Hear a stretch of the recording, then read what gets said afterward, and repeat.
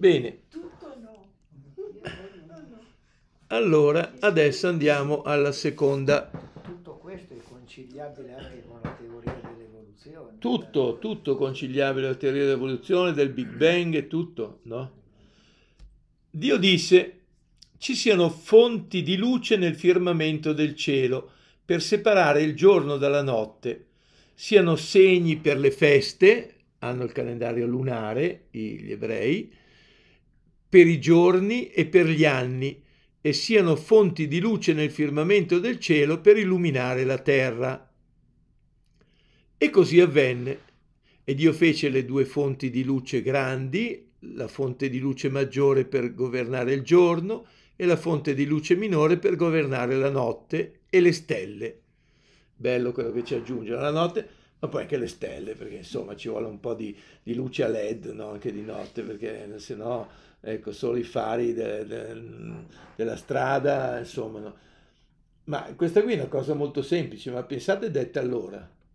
C'erano in giro gli egiziani, quelli con la barbetta così, che giravano sui muri eh, con le spalle girate, no? Questi qui adoravano il dio sole, Osiride, Iside, no? Ra. Cioè, que- questa la Bibbia dice, eh, adorate la- come se noi adorassimo le lampadine. Queste qui sono lampadine, non sono dei, sono lampadine. E detto allora, a quel tempo, eh, non è una cosa, cosa da niente, eh? li ha ridotti a lampadine. Dio vide che era cosa buona e fu sera e fu mattina, quarto giorno.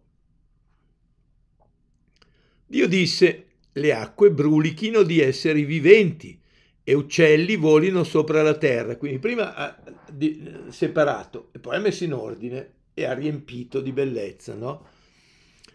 E Dio creò i grandi mostri marini, pensate quando vedevano una balena, non, da dove viene quella, cosa c'è, ma cosa c'è sotto l'acqua in fondo? Boh, c'è l'abisso, c'è, la morte, c'è, no? E tutti gli esseri viventi che guizzano e brulicano nelle acque, anche i gamberetti, ecco queste cose qui, che, eh, le seppioline che mangiamo secondo la loro specie e tutti gli uccelli alati secondo la loro specie. Dio vide che era cosa buona, c'è tutto buono, eh? non c'è niente che non è buono. Dio li benedisse, ha detto bene, eh? qui in questo caso vedete che si aggiunge la benedizione. Alle cose, le cose non le ha benedette, mentre gli esseri viventi li ha benedetti, no? cioè ha detto bene siate fecondi e moltiplicatevi e riempite le acque dei mari. Gli uccelli si moltiplicano sulla terra e fu sera e fu mattina, quinto giorno. Ecco, siate fecondi. E, e la benedizione conteneva sempre una, una mission, no? Io ti benedico perché tu possa essere, no? Eh, ti benedico per qualcosa, non solo per ti benedico così per, per, per niente. E ti do un compito, ti benedico perché tu possa realizzare questa tua eh, vocazione, questa tua missione. Dio disse la terra produca esseri viventi secondo la loro specie, bestiame, rettili, animali selvatici, secondo la loro specie, e così avvenne. Dio fece gli animali selvatici secondo la loro specie, il bestiame secondo la propria specie, tutti i rettili del suolo secondo la loro specie. Dio vide che era cosa buona. Dio disse, ecco, e qui comincia la storia, ecco, eh, la, il ritmo finisce. Dio disse, facciamo l'uomo a nostra immagine, secondo la nostra somiglianza allora, la così ha detto Dio l'ha fatto con la terra, perché l'uomo è terra animata, spirituale, spirito incarnato. Adesso qui dice sì, però non è proprio così l'uomo, eh, c'è qualcosa di più, ma perché l'uomo ecco, eh, ha bisogno dell'altro, di un altro che gli stia di fronte? Da cosa deriva questa cosa? Solo dalla sessualità, dalla genitalità. Forse è qualcosa che c'è più di, di profondo, no? E allora ecco che qui spiega, facciamo l'uomo a nostra immagine e somiglianza, secondo la... perché noi assomigliamo a Dio. e domini sui pesci del mare e sugli uccelli del cielo, sul bestiame, su tutti gli animali selvatici e su tutti i rettili che strisciano sulla terra. Noi l'altra volta avevamo detto no, che l'uomo, Dio gli ha detto, dai il nome alle cose, quindi tu domini sulle cose, conosci il nome, il segreto di ogni cosa. E dice facciamo, eh, che questo facciamo, e dice facciamo chi? Se era da solo, no? Ma con chi dice facciamo? No? E allora ecco che eh, arriva la creazione dell'uomo. E Dio creò l'uomo a sua immagine, a immagine di Dio lo creò. Eh, quando ci sono questi due versetti che sono un po', anche qui pensate un po', sull'altare ci sono due candelabri messi paralleli oppure due vicini messi così, c'è, c'è tutta una liturgia, no? Ecco, Dio creò l'uomo a sua immagine, a immagine di Dio lo creò, cioè c'è un, proprio un, rispecchiarsi, no? Perché deve essere una cosa liturgica. Maschio e femmina li creò. Allora, che cosa vuol dire? Come lo si può capire questa cosa? Ehm, mettiamo il caso che eh, io voglio, beh, eh, come si può spiegare Dio che crea l'uomo, no? Lo crea a sua immagine.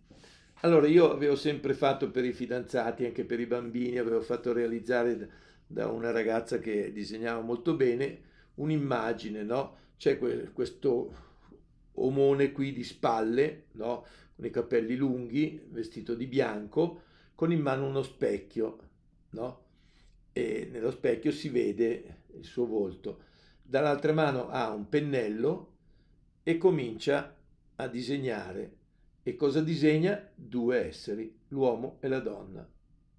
Allora questa è l'immagine, cioè Dio ha detto, ma voglio fare uno che mi assomiglia, no? E sono venuti fuori due. Quindi ciò che ci rende simile a Dio è l'essere due, anche perché lui è tre. No? Quindi eh, la caratteristica divina dell'uomo, quello che rispecchia l'immagine di Dio, è il suo essere per, è il suo essere con, e non è il suo essere single, nel senso faccio i fatti miei e basta. Cioè, allora, ma anche i preti e le suore come, come, li, come li, li giustifichi allora se siamo fatti per amore? Certo, se uno va a fare prete o la suora perché non vuole sposarsi, perché non, non vuole, vuole amare solo se stesso, solo Dio, non va bene. Deve essere uno che sa amare, chiamato ad amare, ad amare in maniera più grande, diversa, ma non che ama se stesso, se no non è una vocazione. Quindi tutti gli uomini, dal primo all'ultimo, dal celibe al, al, so, al, all'omosessuale, sono tutti chiamati ad amare. No? e non ad amarsi. E quindi, eh, perché questa è la caratteristica che contraddistingue l'uomo da tutti gli altri esseri, no? Dio li benedisse e disse loro, come gli animali, eh, siate fecondi, moltiplicatevi, riempite la terra e soggiogatela, dominate sui pesci del mare e sugli uccelli del cielo e su ogni essere vivente che striscia sulla terra. Dio disse, ecco, io vi do ogni erba che produce seme e che è su tutta la terra, e ogni albero fruttifero che produce seme saranno il vostro cibo. A tutti gli animali selvatici, a tutti gli uccelli del cielo e a tutti gli esseri che strisciano sulla terra e nei quali alito di vita, io do in cibo ogni erba, vive, ogni erba verde. E così avvenne Dio vide quanto aveva fatto ed ecco era cosa molto buona. Prima era tutto buono, qui è molto buono. E fu sera e fu mattina, sesto giorno.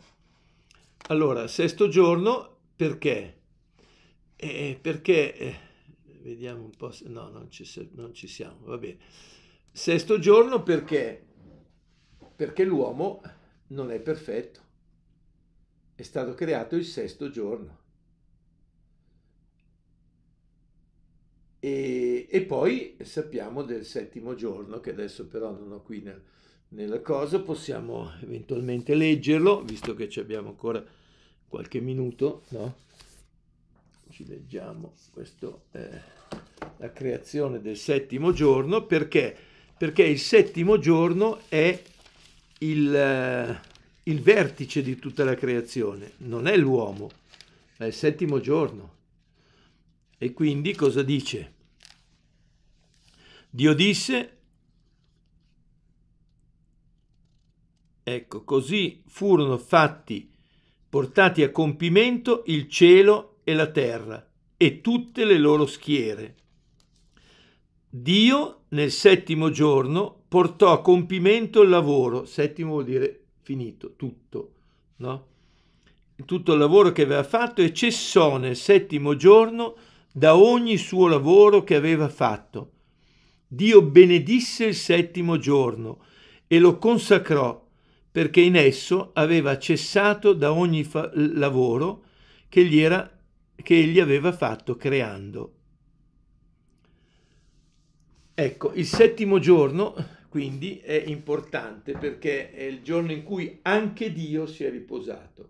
Pensate a quei tempi che non c'erano giorni di festa, no? Per il popolo di Israele dice no, un giorno a settimana tu non puoi continuare a lavorare sempre nella vita. Ecco, devi riposare. Ma riposare, non so se siete mai stati in Israele quando era un po' più tranquillo, no? Ma il settimo giorno, al sabato, io vedevo nella zona proprio dove c'erano gli ebrei osservanti, quelli con tutti i ricciolini così, c'era fuori di casa, c'era un papà con tutti i bambini e lui leggeva. Perché il settimo giorno è il giorno che non puoi fare nient'altro, è il giorno in cui tu ti incontri con Dio come dovrebbe essere la nostra domenica. È il giorno dedicato a Dio, basta. È il giorno dedicato a stare con Dio, no? Per gli ebrei è talmente importante il settimo giorno, poi dopo, vabbè, anche tra di loro ci sono quelli che vivono bene o male la loro fede, no? Ma è talmente importante il settimo giorno che la sera prima si accendono le due candele, la donna accende le due candele in casa, che sono le candele ecco, il segno della vita, eh, si, eh, si, si, porta un po' la, la mano sul volto per, quasi per, per, prendere la luce no, di, di, Dio e si entra nel settimo giorno. E il settimo giorno eh, per il popolo di Israele eh, si può vederlo quasi come, eh, come uno che entra in piscina. La piscina è Dio, l'acqua è Dio, e il settimo giorno tu ti tuffi e stai con Dio sei tutto inebriato, bagnato di Dio, no? sei, ti fondi con Lui. No? Eh, Posso chiedere una cosa? Come mai appunto per Israele, per gli ebrei è il sabato, il giorno di festa e per noi è la domenica? Che, come mai? La risurrezione. E per gli, per gli sì. musulmani il venerdì? certo, beh, cioè, allora, primo perché eh, per, per, i, per gli ebrei il sabato, se noi dovessimo dire qual è il giorno di festa dell'umanità, dovremmo dire il sabato. No? Cioè, quindi anticamente... Certo, no? Poi per noi è venuto la domenica perché è il primo giorno dopo il sabato, cioè l'ottavo giorno, dove Gesù risorge e quindi allora per noi è più importante la risurrezione.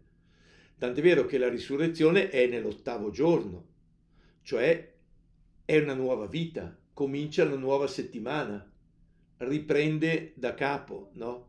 Dopo il sabato c'è la domenica. Per i musulmani, allora c'è sabato c'hanno già quella, la domenica c'abbiamo noi, il venerdì penso che sia per distinguersi o perché qualche cosa è successo a Maometto il venerdì sarà andato in, in, in paradiso eccetera no.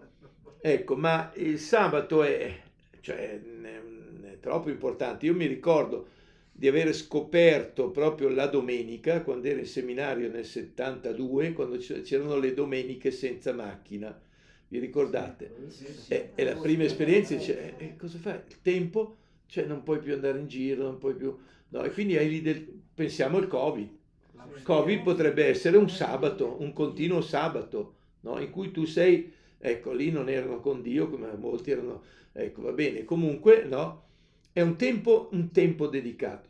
Poi l'altra cosa bella che eh, il sabato, per quelli che ci credono, diventa il giorno della festa, il giorno in cui non si fa niente, non si lavora, ma perché è una cosa più importante da fare, stare con Dio. E allora dice, allora non posso mettermi lì, qualche volta ai primi tempi che ero prete, o, ecco, venivano delle donne a confessarsi che dicevano ho fatto il bucato la domenica. Perché fare il bucato la domenica, secondo la teoria del sabato, no, non puoi la domenica fare il bucato e fare... Perché no, la domenica è il giorno di festa, ne andà a messa. No? noi, ma per gli ebrei mi sembra che sia proprio... Che Per gli ebrei hanno tutta la, la ca- casistica, non puoi accendere il fuoco, non puoi fare più di tot passi, non puoi... niente. No, perché allora è chiaro che dopo la casistica diventa, diventa una formalità. E allora, ecco, io non posso fare cinque passi, mi cade l'animale nel pozzo e lo lascio crepare. E no, c'è qualcuno che ha bisogno e dice, ma perché guarisci il giorno di sabato? Eh, Perché, perché voi non andate a prendere... Cioè, sabato è fatto per l'uomo, non l'uomo per il sabato, no? E quindi è vero, ci sono delle... de- de- come dire il precetto della domenica, anche noi. Eh, eh, Ma è di domenica, questa domenica di precetto sabato prima del Natale, che il Natale è domenica, è di precetto di Natale o della... Cioè, non esiste, proprio non esiste, non se ne parla. E abbiamo dovuto anche noi fare i precetti, no? Ma i precetti, primo, chi li osserva? Quasi più nessuno, non gliene frega niente nessuno, no? Ecco, e, e poi non puoi vivere una fede solo con la legge, come diceva San Paolo, eccetera, ma ci vuole il cuore, no? Non puoi circonciderti e poi dopo non hai il cuore circonciso, no? Ecco, la cosa bella è che per esempio le donne, eh, quando vanno al mercato, eccetera, eh, guarda, vedono un bel foulard oppure una, un- una gallina, ecco, un, qualche cosa di un, un frutto, lo comprano per il sabato, no? Perché il sabato è il centro del vertice, noi la domenica. Io cosa, eh, cosa facevo di solito nelle parrocchie dove sono stato? Il lunedì c'era l'adorazione sul tema della domenica al pomeriggio, su quello che si era fatto la domenica. E la sera leggevo le letture della domenica dopo per prepararci a celebrare la domenica. Cioè, eh, la domenica diventa come sabato il centro della vita del cristiano. No? Tant'è vero che anche Dio ha osservato il sabato. Per cui i sacerdoti, vedete, uno che fa tutto, eh, però anche lui osserva il sabato. Perché il sabato è il giorno in cui Dio incontra l'uomo. Sta con lui nel, nel- giardino, passeggia nel giardino con l'uomo. Ecco, direi che adesso lasciamo le domande, eccetera. Ancora oggi